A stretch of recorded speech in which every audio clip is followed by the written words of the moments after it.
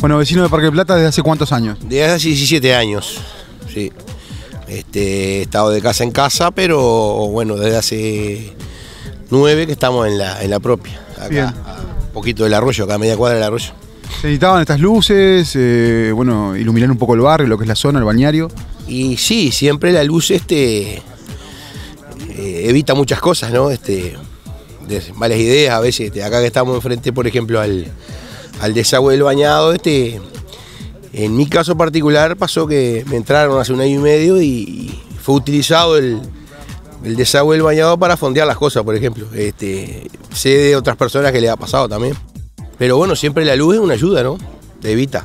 Bien, bueno, ¿cuáles son las necesidades que ustedes tienen? Visualizando un poco el bañario, la zona, qué está faltando, eh, bueno, qué se necesita básicamente en el tema eh, iluminación.